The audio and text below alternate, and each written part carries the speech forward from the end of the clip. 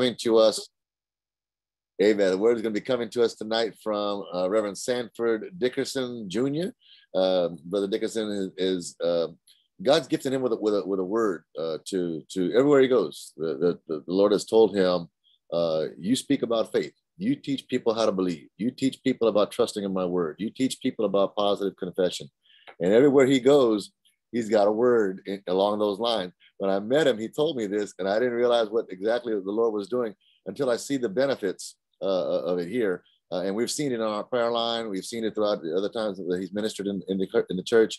Uh, and I thank God for his ministry. Uh, so we're going to pray and then we're going to hand it off to uh, Reverend Dickerson. Uh, and God's going to speak to us and continue to grow our faith and our knowledge of the Word of God through his ministry tonight. So let's pray together.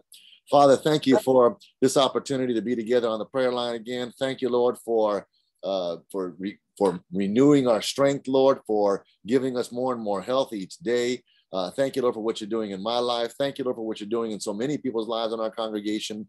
Praying, Lord, that tonight will be a blessing as we've opened up ourselves uh, to be submissive to your will, Lord, to hear the word tonight. Bless us tonight in Jesus' name. Amen. All right, Brother Dickerson, if you can unmute your uh, your your your system there, and we can hear the word from you tonight. Mm, not yet, not yet, not yet. It's coming. Let's see what it says. That helps. There we go. I'm good now. That's it. I can hear you now. Yes. All right. Can you and can you still see me? Uh just lost you for a sec right there. Lost uh, me now? Uh okay. I still don't see you, but you can go ahead and start ministering if you want to. Well, I was trying to I was trying to see if I can just use my notes without uh uh, that's okay.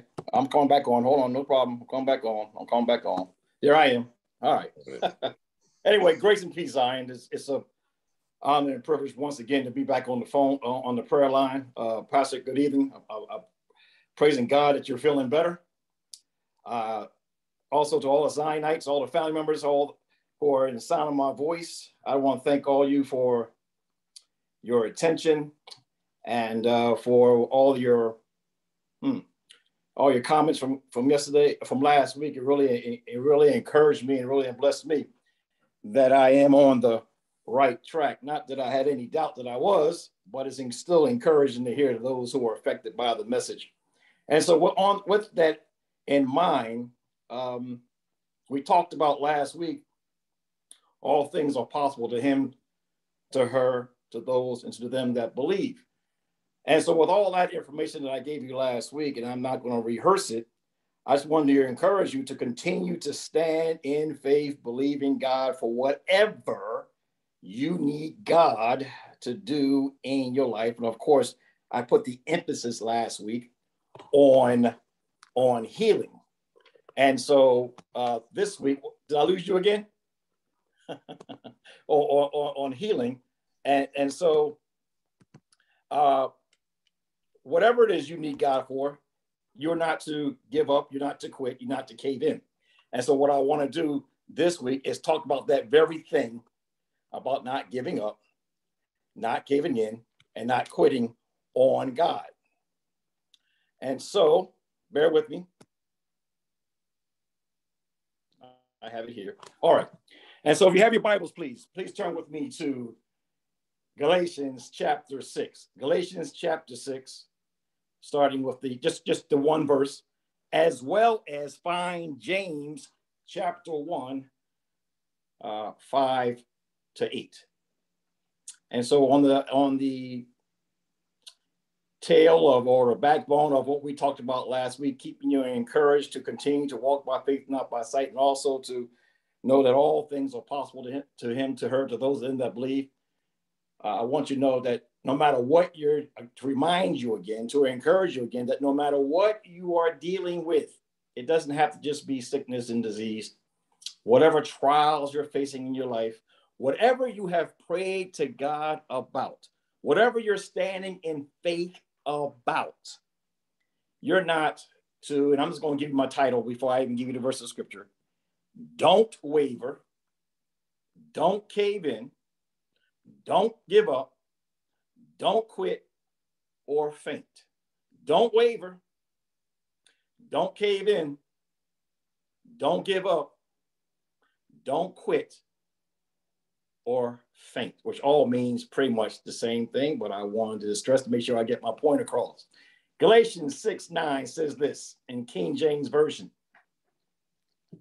And let not be let us not be weary in well doing, for in due season we shall reap if we faint not. Now, while it says do not get weary and well doing, you can add any one of those words in my title in that verse of scripture, and we can say it like this. Let us not waver in well doing, let us not cave in in well doing, let us not give up in well doing, let us not quit in well doing, let us not faint while in well doing. For in due season, my brothers, sisters, family, and friends, you will reap if you do not faint, if you do not waver, if you do not cave in, if you do not give up, if you do not quit. Most of all, if you do not quit and give up on God. Because when we are quitting and when we give up and when we cave in, it's because we are what? We're actually literally giving up on God. He is the only one who can answer our prayers. He's the only one who can turn our situation around. Therefore, we can't afford to waver, cave in, give up, quit, or faint. And so let's go now to James chapter 1, starting with the fifth verse. And it reads If any of you lack wisdom, let him ask of God that giveth to all men liberally and upbraideth not, and it shall be given him. But let him ask in faith, nothing wavering.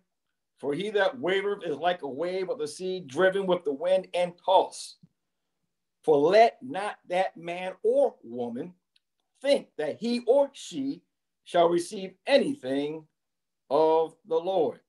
A double minded man a double minded woman, boy or girl, is unstable in all his ways. My brothers and friends, in that verse of scripture, it says a whole bunch about not wavering, not about not being double minded. For when we waver and are double minded, when we're doubting, verse 7 says, we're to not expect to receive anything from the Lord my brothers and fine friends, you are going to have some doubts every now and then. The only thing is, I just want to remind you before I get into my message here is that doubt is going to come to pass. It's, it's going to come into your mind because that's what the devil does. He sends doubt to us, even when we're standing in faith, believing for God, even for the impossible to become possible, as we said yesterday, the last week. But as but as Mark 11, 23 says if you say unto this mountain, be thou removed and be thou cast into the sea, and shall not doubt in your heart. There's the, there's the key right there. Not doubting in your heart. It's okay. You're going to have doubts in your mind.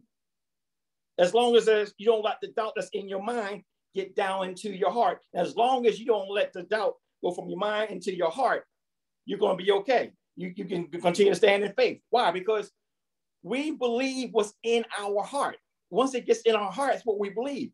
And so, as long as you don't allow the doubt to get down into your heart, where you change from believing God to doubting God, and the doubt comes by what you get in when it comes down into your heart. When it gets into your heart, guess what? The devil knows he's got you because you're doubting God.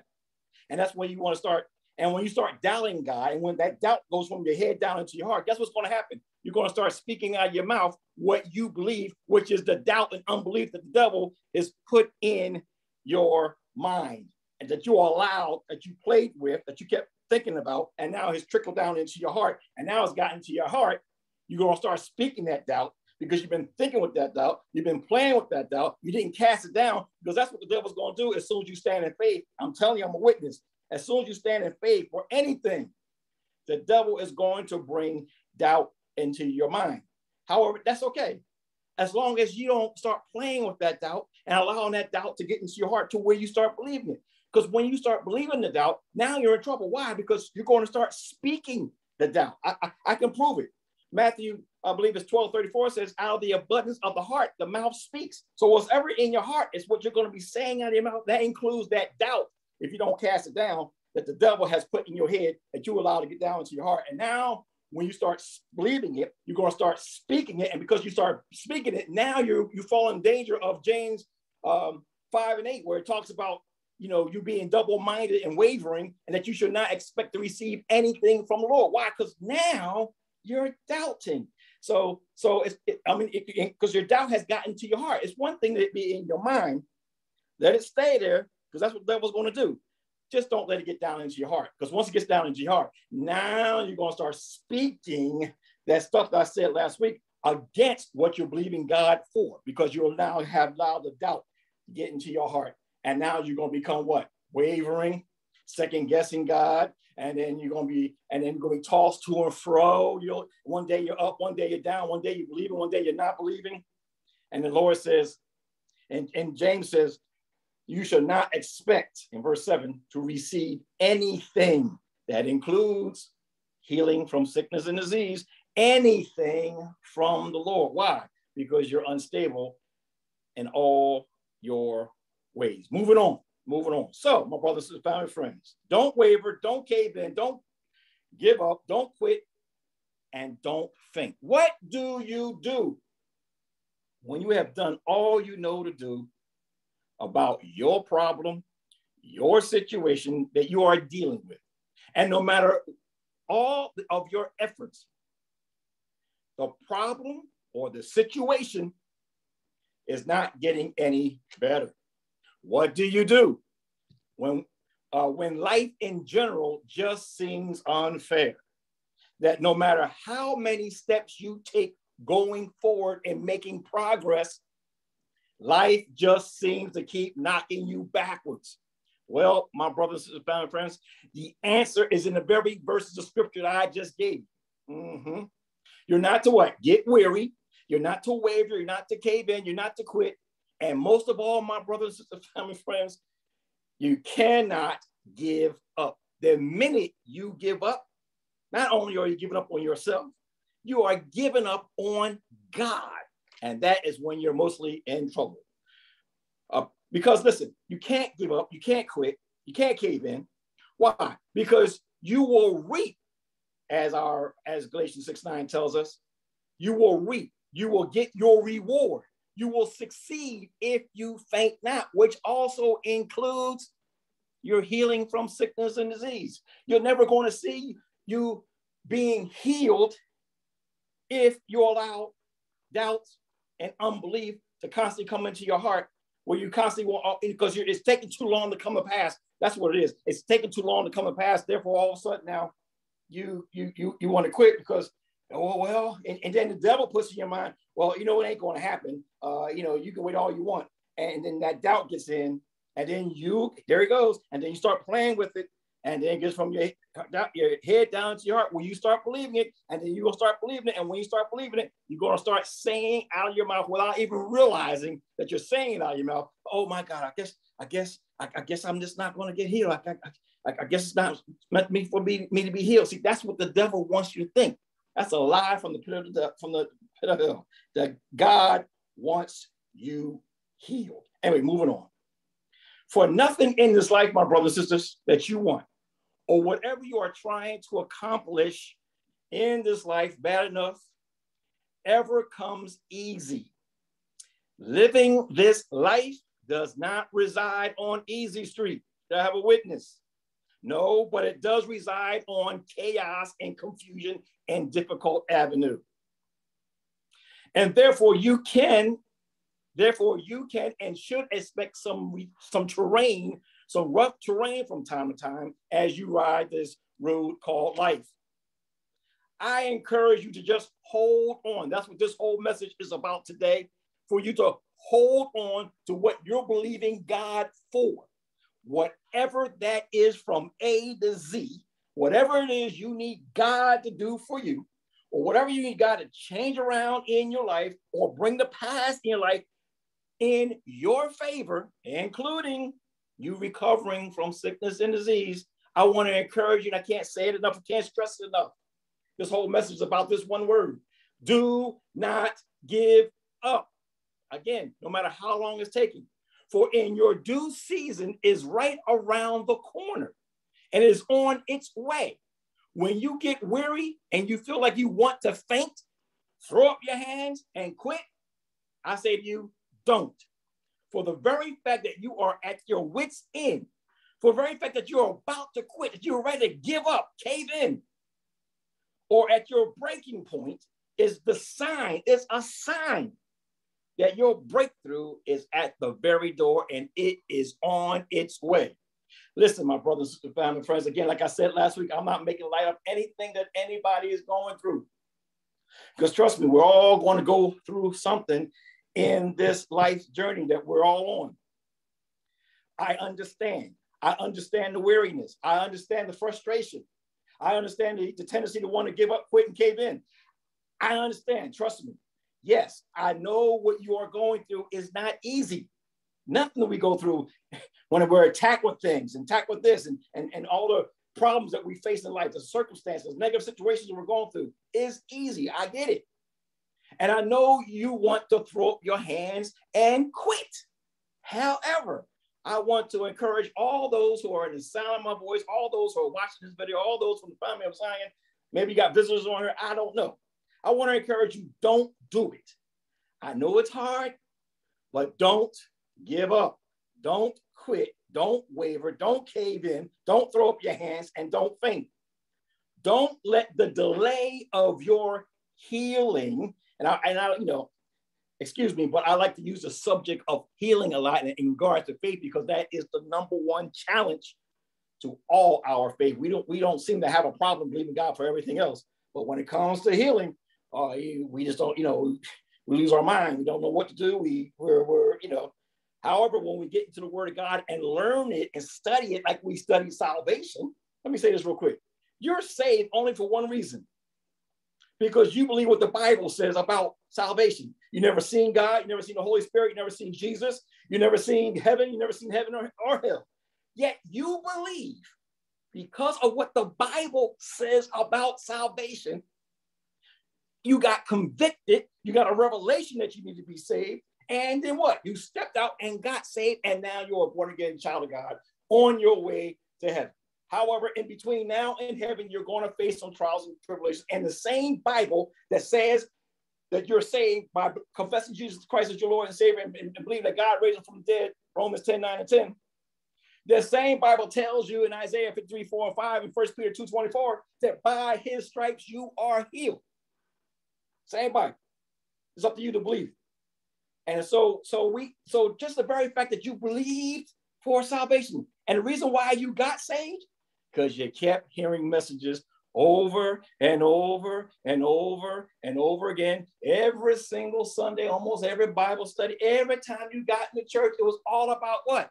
Salvation. Well, you have no choice but to start getting convicted. And the revelation comes that you need to be saved, and the Lord touched you and you got saved. Well, guess what? The more we hear about the faith message, the more we hear about getting healed from sickness it will build our faith up to trust God that He will see us through, not just, again, not just for sickness and disease, but for whatever you are believing God for. So, again, listen, I, I understand your weariness. Yes, I know you want to, what you're going through is not easy. I know what you want to throw up your hands and quit. However, I want to encourage you again don't do it. I know it's hard, but don't give up. Don't let let the delay of your healing or whatever else you're believing God for coming to pass deter you from continuing to stand in faith, trusting and believing God to bring your healing or whatever it is you are believing for. Healed marriage, finances, kids be okay, successful, your job security, whatever it is you're believing God for, whatever you need God to do for you.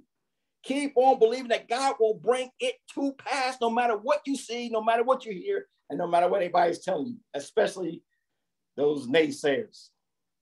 This is the very time, my brothers and sisters, when you're in the waiting period, you know, when it, it, it seems like it's taking forever to come to pass, in, in which during time and during the waiting period, that you that the devil comes at you with all kinds of doubt and unbelief, harassment thoughts. mm-hmm. which is for the sole purpose to get you to quit believing God for whatever you're believing God for.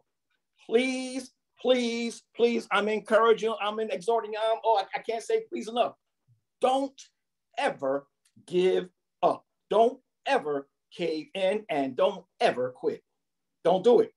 If you do, you're not going to see whatever you're believing God for to come to pass or change in your life. I promise you, if you do, you may never see your healing come to pass. You may never see your marriage getting fixed. You may, you may lose your job. You may have all kind of financial problems. Why? Because you're giving up on God because it, to you, it's taking too long to get here. You got to keep on believing. You got to keep on walking. You got to keep on standing. And then your breakthrough, your breakthrough will only come to pass with the end result of you being healed and, and well, as well as uh, as you keep on no matter what, no, and no matter how long it's taking, you keep believing, keep on trusting God, and keep on confessing your healing, or again, whatever else you believe, believe in God for, no matter what, or and no matter how long it is taking, especially when you start to get discouraged.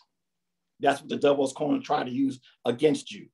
Let the devil know he will not win, for your God is bigger than any doubt he may uh, that, that he may and is trying to bring upon you. All right. Now listen, get up real quick. I want you to get a. This is going. This I know this is being recorded, and I'm even going to put what I'm about to say here on the Zion Facebook page. But get a pencil and a piece of paper and write this down. This is this is uh, exercise for you. You got some homework to do. This is going to help you. This is going to uplift you. This is going to strengthen you. This is going to encourage you. I want you to make this your daily confession. Put it on your refrigerator. Put it wherever you can see it, and confess this every time you get down and depressed. I promise you, my brothers and sisters, it will lift you up every single time you read it, quote it, whatever.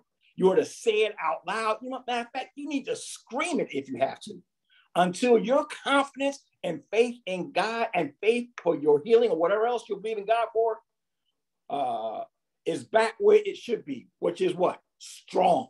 And here it is. I'll take my time with it. I'll say it nice and slow so you get it. My faith is not fragile. My faith is not weak my faith for my healing and deliverance gets stronger every time I speak. Every time I speak, my faith, my confidence, and my determination to be healed gets stronger and stronger. I will not waver. I will not cave in. I will not give up. I and, and with, excuse me, and with the strength and help of the Lord, no matter what, I will not quit. By his stripes, I was and I am healed right now. In spite of what I see, in spite of what I hear, in spite of what I'm feeling. No matter what, I claim, I confess, I walk in my healing now. I believe it, I receive it, I confess it, I walk in it, and I act like it's so. Why? Because it's already so according to God's word. In the name of Jesus, by faith and in faith, it is already so. I shall not be defeated.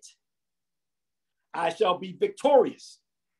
And I, I claim it done in the name of Jesus, who is my Savior, my Lord, my all in all, my healer. Amen and amen. My brothers and family friends, don't waver, don't quit, don't cave in. Don't give up. And do not faint. And I believe your healing or whatever else you're asking God for, as long as you keep standing, having done all to stand, it shall come to pass. For all things are possible to him, to her, to those of them that believe. Why? Because there's absolutely, positively nothing too hard for the Lord. Let us pray. Our Father God, thank you once again for this time. I thank you once again for this word. I thank you, Father, what you have put in me to bring forth.